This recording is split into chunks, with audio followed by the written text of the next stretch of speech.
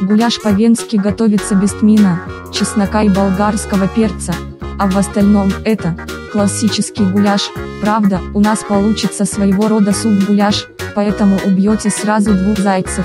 Пробуем. Как приготовить гуляш по-венски? 1. Говядину промойте, нарежьте небольшими кусочками. В конце видео я покажу ингредиенты для готовки. Подписавшись, не пропустите новые вкусняшки. Теперь о составе нашего блюда.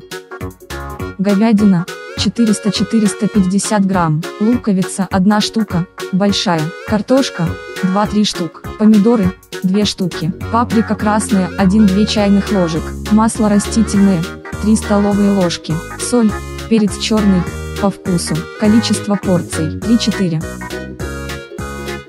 Не пропустите самое вкусное, подпишитесь, выразите свое мнение в комментариях. Всем добра, заходите еще.